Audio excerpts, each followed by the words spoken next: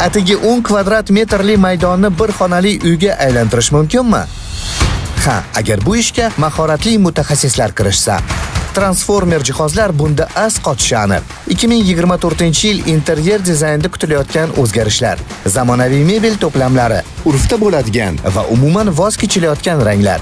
Bularning barchasi haqida eng talabgir interyer dizaynerlardan eshitamiz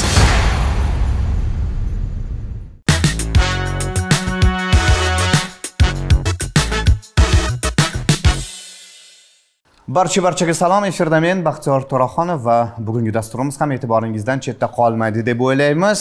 Chunki eng talabgor kasb egalari bu galgi ko'rsatuvimiz mehmonlari. Assalomu alaykum xush kelibsiz. Assalomu alaykum. Bunday deb yanglishganim yo'q a albatta. Ish ko'pmi aniqroq buyurtmalar ko'pmi? Juda juda. Hozir mana qurilishlar ko'payib bormoqda. Shuning uchun bizani ham ishimiz ko'payib qoldi. Va hamma xonadoni bejirim va chiroyli bo'lishini istaydi. Albatta mutaxassislar insonning o'zi tanlagan sohasidagi muvaffaqiyati u asosiy vaqtini o'tkazadigan ish joyi va uyining interyer dizayni bilan uzviy bog'liq deyishmoqda. Chunki atrofimizdagi jihozlar ranglar buyumlar istaymizmi yo'qmi bizning ruhiyatimizga ta'sir qiladi. Bu esa o'z navbatida ishchanlik oshishi yoki kamayishiga sabab bo'ladi. Shundan kelib chiqib dizaynerlar quyidagi jihatlarga alohida e'tibor berish kerakligini ta'kidlashadi. Xonaning yorug'ligi shakli harorati rangi hidi tabiiy mahsulotlar bilan yaratilganligi hamda o'simlik va gullarning bu yerda mavjudligi bularning bari uyg'unlikda bo'lsa nur ustiga a'lo nur. Avvallari yil boshida e, fashion olamidagi e, trendlar haqida so'z borgan bo'lsa hozirda endi me'morchilik va interyer dizayn borasidagi trendlar haqida ham so'z yuritilyapti masalan o'tgan yilgidan ko'ra shu yili talab juda ham oshgan.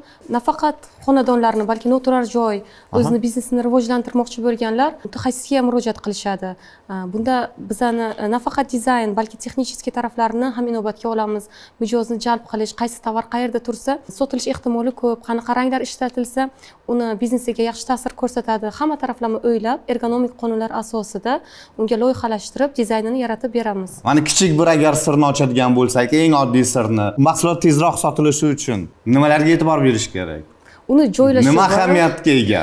Yorug'lik joylashuvi va uni odamni ko'rish zonasiga yaqin bo'lgan. Masalan mahsulotlar eshikdan kiraverish o'ng qo'lda bo'lsa odam psixologически xohlagan joyga kirsagi o'ng qo'lga yurish refleksi mavjud. Tez sotilishini istaydigan narsalarni masalan o'ng qo'lda nima qiladi apteka qurilish materiallari hammasiga individual yondashiladi masalan aptekada tez sotiladigan mahsulotlarni oldinga qo'yiladi. Shuni ham inobatga olamiz dizaynerlar. Va qolaversa ranglar ham katta ahamiyatga ega xonadonimizdagi jihozlarning rangi bevosita bizning kayfiyatimizga va salomatligimizga ham ta'sir o'tkazadi. Misol uchun ba'zi ranglar tinchlantirish xususiyatiga ega bo'lsa ba'zilari kishiga energiya beradi. Va shu ma'noda xonadonda derazalarning ko'p bo'lishi katta ahamiyatga ega. Misol uchun derazalar bor joyda o'tkir va surunkali kasalliklarni yengish tezroq kechadi. Tadqiqotlar natijalari shuni ko'rsatadiki kasalxonada davolanayotgan bemorlarning oftob tushib turadigan xonalarda joylashganlari og'riq qoldiruvchi muolajaga muhtoj bo'lishmagan. Bunga asosiy sabab oynalar ochilganda ko'rinadigan betakror tabiatdir. Boisi o'simliklar va yamyashillik ruhiyatimizga sokinlik bag'ishlaydi. Agar miya tinch bo'lsa tana ham shu holatga moslashadi. Qattiq asabiylashgan inson esa hatto kasal bo'lmaganda ham boshi mushaklari va ko'krak qafasida og'riq his qiladi. Dizayner qobiliyati shunday bo'lishi kerakki klient o'zi xohlayotgan narsani to'laqonli gapirib berishdan oldin dizayner u to'g'risida ma'lumotga tushunarli bo'lishi kerak. Ya'ni man birinchi beradigan savolim sizga qanaqa ranglar yoqadi deb so'rayman. U nimani loyihani qildirishdan oldin u aytishni boshlaydi. Manga yashil rang yoqadi manga sariq rang yoqadi. Chunki rang psixologiyasi shunaqaki inson rang tanlash kelganda o'zini bekitmoqchi bo'lgan xususiyatlarini yashirolmaydi. U sizga to'laqonli aks etib ettiradi.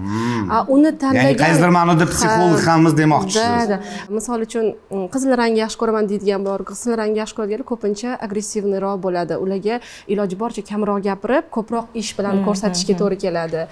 Sariq rangni yaxshi ko'radiganlar ular ijodiy holatlarga o'ta o'ch bo'ladi. Ularga aynan e, loyihalarni tushuntirayotganda ijodiy tomonlarini ko'proq tushuntirib bersak go'yoki ularni ko'zini oldida haqiqatdan o'zingizni kasbingizni o'zingizni qilgan ishlaringizni yuqoriga ko'tara olasiz.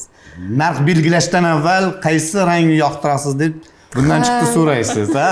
Shunaqa desa ham bo'ladi. qanday yondoshuvni yondoshuvni talab keyin chunki hozirgi vaqtda e, ko'p buyurtmachilar mm, puliga ham qaraydi e, ishi ham chiroyli bo'lishi kerak ham puli ham arzonroq bo'lishi kerak. Eng zo'ri bo'lishi kerak lekin arzon bo'lishi kerak. albatta lekin ayrim holatda puliga e'tibor bermasdan turib loyiha zo'r chiqishini xohlaydiganlar ham bor. Yana bir o'ziga xos tomoni bor mana shu mijozlar bilan ishlayotganingizda?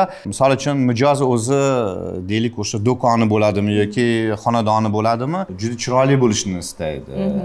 Ammo o'ziga xos o'ziga yoqadigan ba'zi bir talablarni qo'yadi. Vaholanki o'sha talablari o'zi xohlayotgandek loyihaga to'sqinlik qilishi mumkin. Misol uchun mutlaqo qizil rangdan foydalanish mumkin emas. Unga esa qizil rang yoqadi. Mm, to'g'ri.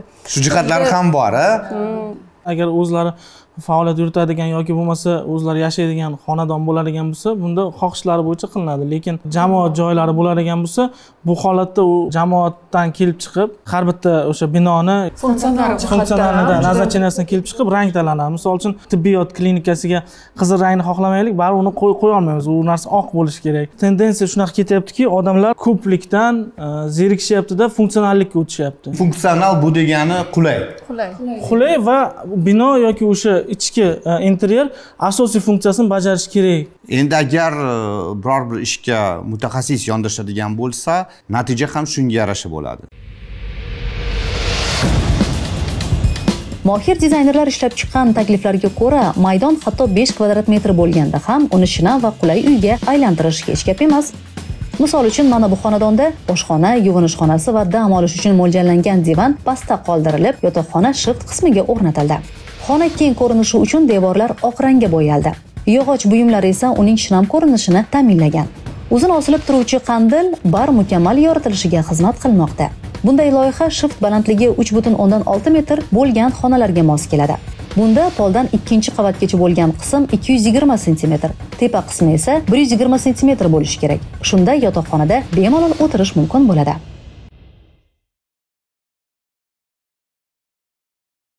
Ushbu mitti yashil studiya esa Los-Anjelesda joylashgan. Uy sohibasining hamma narsasi ko'rinib turadi. Boisi ushbu xonaga shkaf tugul yotoq kravatini ham joylash aqlga sig'maydi. Shuning uchun buyumlarni saqlashda xuddi do'konlardagidek ular rastalarga joylashtirilgan.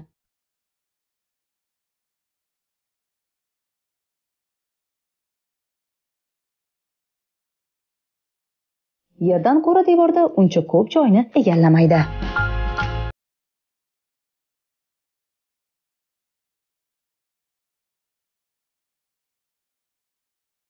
Agar mutaxassis bo'lmas deyish mumkin a ko'plar hozir shunaqa kvartiralar olishyapti ko'plar biznesga ham olishyapti. Odatda hozir o'ttiz o'ttiz to'rt kvadratdan boshlanyapti bizani kichik xonadonlarimiz uning ichida ham sanuzel yotoqxona hamma sharoitlarni yaratib berish kerak bo'lyapti. Katta kvartiradan ko'ra kichkinani joylashtirib murakkabroq ko'proq bosh qotirish kerak. Chunki ma'lum bir standartlar bor unga ham javob berish kerak. Va shu bilan bir qatorda umumiy ko'rinishi ha ha. Chiroyli bo'lishi kerak. yorug' ko'rsatib berish kerak. Iloji boricha oynalarni ko'proq ishlatib yorqin ranglardan foydalanib xonani kengroq ko'rsatib berishga harakat qilish kerak. Har bir santimetr hattoki millimetr judayam muhim. Bir narsadan ikki uch xil funksiyada foydalanilsa bu joyda ham istiqomat qilsa bo'ladi. Shu ma'noda e, hozir endi multifunksionallik kam e, avj olmoqda ya'ni aytmoqchi bo'lganim bitta mebel ikkita uch xil funksiya vazifani bajarishi mumkin Siz tasvirda ko'rayotgan mana bu aqlli oshxona jihozlarining barchasi ko'p funksiyali. Italiya kompaniyalaridan biri tomonidan ishlab chiqilgan ushbu garniturning har bir qismidan unumli foydalanilgan. Tortmalar pult yordamida harakatlansa, bir qarashda juda noqulay bo'lgan burchaklar to'liq harakatlanadi. Panellar olinishi hisobiga ularni tozalash ham juda qulay. Muzlatgich ko'rinishi odatdagiday bo'lishi mumkin, ammo uning stol ostiga joylashtirilgani mahsulotlarni olib ishlatishni osonlashtiradi.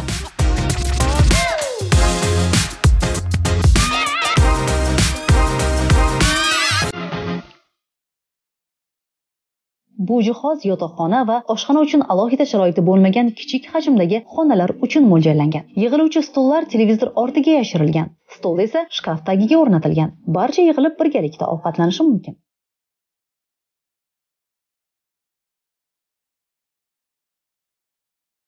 Mana bu tumba haqiqiy transformer. U ko'plab mayda buyumlarni bir joyda saqlash imkonini beradi. Ushbu jihoz bahaybat ko'rinsada yig'ilganda kichik ko'rinish kasb etadi.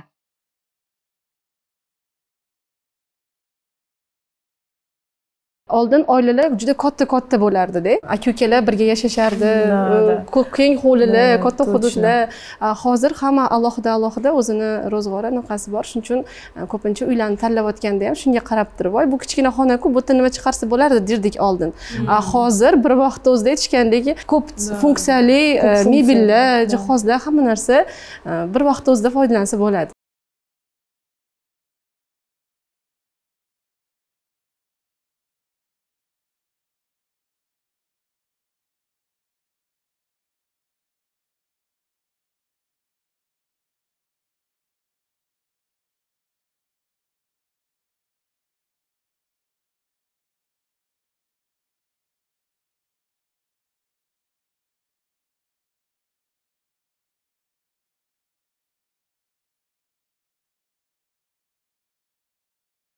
hozir dizayner arxitektorlarga murojaat ko'p qilishadi tejashadi o'zlarini moliyaviy tarafdan.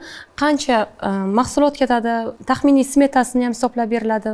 Dizayn tayyor bo'lgandan keyin qancha qanaqa mahsulotdan ketadi hisoblab berilishi ham ichida bor. Qulaylik yaratiladi albom loyiha tayyor bo'lgandan keyin hozir juda shaklda. Undan tashqari рабочий proyekt ham bor. Elektrikka beramiz santexnika chizma tayyorlab beramiz gipsokartonchi mebelchi hammasi ichida tayyor bo'ladi. Shunchaki dizayn bo'yicha o'zlari o'zlarini istaklarini aytsalar kifoya. Loyihani taqdim etasiz lekin baribir tayyor holda ko'rish bu boshqacha. Yashash davomida ham u narsaga doim amin bo'lib keladilar vaholanki agar noto'g'ri qilingan loyiha yoki e, noto'g'ri qilingan dizayn sizni shuncha qilgan plyusni havoga uchirishi mumkin havoga uchirishi mumkinda. Buyurtmachi keladi. Aytadi qanaqa loyiha xohlaydi? O'sha xohlayotgan narsasi qurilish me'yor qoidalariga to'g'ri kelmaydi hmm. misol uchun man siz keldingiz hmm. menga qanaqadir e, obyektni qurilishini xohlayapsiz u obyekt talabga javob bermaydi agar men sizni aytganingiz bo'yicha qilib bersam lekin ertaga o'sha loyiha qurilib bitkazilgandan keyin u yerda qanaqadir xatolik kelib chiqqandan keyin kim aybdor bo'ladi? Arxitektor aybdor hmm. bo'ladi. O'sha paytda meni vazifam sizga to'xtatish sizni to'xtatishmi? chiroyli qilib to'xtatish. To'xtatish deganda ham yo'q bilasizmi bunaqa loyiha bo'lmaydi. Talablarga javob bermaydi emas. Aynan arxitektorni bu yerda katta vazifasi. Hmm. Chiroyli yechim o'zini chiroyli variant eskizlari bilan hmm. chiroyli yechim berish hattoki ba'zida oltmish kvadratli uyiga barokko stilida yoki hmm. rokoko stilida hmm. besh xonali e, kvartira xohlab qolishadi shu paytda albatta to'g'ri tushuntirib to'g'ri yechim qilib berib barokko emas minimalizm yokida boshqa stillarni ko'rsatib uni to'g'ri tushuntirib bu yechimdan chiqib ketishga harakat qilish kerak albatta bino o'zi mustahkam bo'lishi mumkin ammo havo aylanishi va quyosh nurlari tushishi borasida muammo bo'lishi mumkin. Agar mayli deb ko'z yumib quradigan bo'lsa ertaga baribir boshqa muammolar kelib chiqadi. Hattoki mijozni o'zi aytishi mumkin. Yashab kelayotgan paytida nimaga mani shu arxitektorim dizaynerim manga shu xatoliklarni aytib o'tmagan to'g'ri tushuntirib berolmagan deb baribir aylanib o'rgilib dizaynerga taqaladi. Vaholanki o'sha paytda aytgan bo'lishi mumkin yoki oxirgi payt juda yam ko'p uchratyapman mhm. interyer qilish uchun yangi новостройкаlar e, xonadonlar ko'payib ketgan. Chaqirishganligizda borasiz e, bir yarim sotixlik uchastkalarga e, shunaqangi chiroyli qilib joylashtirib qo'yishadi. yettita xonasi bor sakkizta hmm, xonasi bor deyishadi. Aslida siz uyga kirib qarasangiz kamida ikkita uchta xonasini tabiiy yorug'lik tushadigan hmm, oynalari yo'q. kichkinagina qilib xona qilib qo'yishgan o't yotoqxona aslida juda yam kichkina hattoki bitta hmm, kravatdan yana ozginaroq joy qoladi. Devor обоy ya'ni gul qog'ozdan rangi to'q rangda. Hmm. birinchidan hech qanday tabiiy yorug'lik tushmaydi. Tabiiy yorug'lik ham xonani sal kengroq ko'rsatib turishi mumkin havo aylanishini yaxshilashi mumkin. Endi sizdan talab qilinadigan narsa shu uyga chiroyli bitta dizayn yechim berishingiz kerak bu vaziyat juda yam qiyin vaziyat shunaqa talablarini qonunlarini bilmagan holatda loyihalash bu yuqorida aytganingizdek juda yam katta muammolarga olib keladi undan keyingi faoliyat yuritadigan dizaynerlarga ham qiyinchilik tug'diradi ko'pincha holatlar bo'ladi misol turar joy majmualarini loyiha qilganimizda yoki bo'lmasa restoranlar boshqada baribir birinchisini arxitektor qiladi arxitektor loyihasiga qarab dizaynerlarni ishi aniqlanadida o'zi misol kirish joyini agar kengroq qoldirmasa yoki xonalarni bo'linishini noto'g'ri qilmasdan ketsa bu yuk ko'taruvchi devorlarida boshqa narsalarni siljitib bo'lmaydi. Dizayn qilayotgan. Mijozdan oldin dizaynerlar ham arxitektorlarni ishiga baho berib ketishi mumkin. Mana tajribangizdan kelib chiqqan holda nimalarni qilmaslikni tavsiya berasiz? Ya'ni qanday xatoliklarga yo'l qo'ymaslikni tavsiya berasiz? O'zi gaplashib chiqish kerak. Mijoz kelganda kim yashaydi ayolingiz ovqat pishirishni yaxshi ko'radilarmi yo'qmi? Yoki necha kishi oilada? Man hattoki necha komfortka bo'lishini ham so'rab olaman. Anaqa oshxonada. Plitamiz ikkitali bor to'rttali bor oltitali beshtali qanchalik shu shu narsa muhimligini so'rayman. Bizani milliy taomlar ham judayam yog'liq judayam bir hidli anaqa ventilyatsiya bo'lishidan qat'iy nazar. Da da ya'ni kvartira studiya yo'q kvartira studiyada siz albatta baliq qovura olmaysiz yoki osh Chunki butun uy. butun uy yo'q bir xil ba'zida shunaqa klientlar keladiki manga muhim emas nima hid chiqsa ham manga shu yorug'lik keng bo'lishi muhimroq deydi. Avvalambor klientga nima muhimligini bilib olishimiz kerak. Ko'pincha hozir mana obyektlarga hud joylarga borsangiz santexniklar bajarib ishini bitirib ketib bo'lgan yoki bo'lmasam elektriklar ustalari bajarib ketib bo'lgan lekin e, siz loyiha qilayotganingiz juda ko'p nuqsonlarni ko'rasizda. Mana misol uchun ikkita trubalar bitta joyga ulab qo'yilgan yoki bo'lmasam simlar ikki xil simlar bir biriga ulangan ular devor orqasida qolib ketgan lekin bu ozgina vaqt o'tganda zamikание bo'lishi mumkin yoki yong'in xavfsizlik qoidalariga to'g'ri kelmaydi ishlatayotgan paytida mana shu e, joylarga e'tibor berish kerak. Ya'ni santexnikalari va elektrikalariga e, sababi u narsa yopib ketilgani bilan e, ertaga bilib bo'lmaydi. Chunki hozir havaskor deb aytamiz. Havaskor ustalarimiz juda yam ko'p. Chiroyli ko'rinadi degani bu hamma masala yaxshi yechildi degani emasda. Shu o'rinda ikki ming yigirma to'rtinchi yildagi e, interyer dizaynga oid tendensiyalar haqida e, so'z yuritmoqchimiz. 2024 yil interyer dizaynida shaxmat naqshlaridan foydalanish yana ommalashadi. Bunday ko'rinishdagi gilamlar yumshoq mebel va yoritgichlar zamonaviy bo'lish barobarida xonani shinam ko'rsatadi. Mutaxassislar bu uslubda asosan yorqin uncha to'q bo'lmagan ranglardan foydalanishni tavsiya etmoqdalar.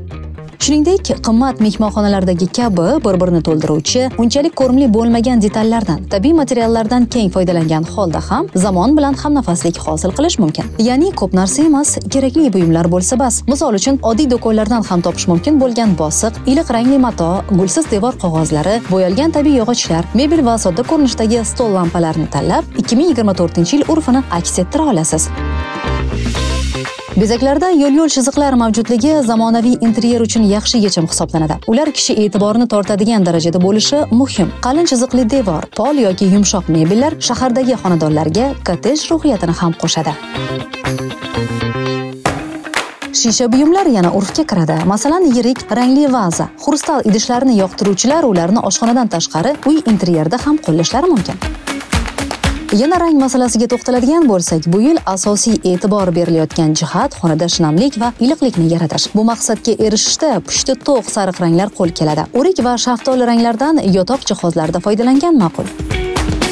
Odatda xonadon shifti oq rangda bo'ladi ammo dizaynerlar tajriba qilishdan cho'chimaslikka chorlashmoqda. Ular shiftni to'q ranglarda bo'yashni tavsiya etmoqdalar. Bu o'zgacha shinamlik va mustahkam ko'rinishni kasb etadi. Bunda kul rang jigarrang ko'k va yashil ranglar qo'l keladi.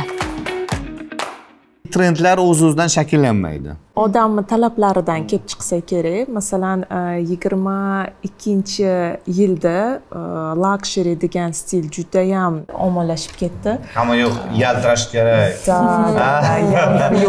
Hamma havas qilish kerak tanishlar qo'shnilar shunaqa shunaqa. Keyin yigirma uchinchi yilda tilla emas ko'proq kumushdan foydalanishga harakat qildim. Sodda sodda bir narsalardan chiroyli shinamgina uy hosil qilishga yaratishni boshladim. Psixologlar tomonidan eng ko'p yangraydigan tavsiyalardan biri bu agar hayotingni o'zgartirmoqchi bo'lsang avvalambor o'zingdan boshla va shu bilan bir qatorda yashayotgan hududingni ham o'zgartir deyishadi. Garchi endi to'liq ta'mirlamasa ham hech bo'lmasa shu turgan jihozlarni o'rni bilan almashtirish tavsiya etiladi. Bizga motivatsiya yetmayapti yoki nimadir. Motivatsiyani aslida inson o'ziga o'zi beradi. Yoqmayaptimi? O'zgartir. Xohlaganing bo'yicha o'zgartir. Stol qimmat bo'lishi shart emas. Yo'q. Albatta. Yoki o'sha ilib qo'yadigan rasm qimmatbaho bo'lishi shart emas. Yo'q eski buyumlarni eski shkaflarni o'sha e, shifanyer deyishardi.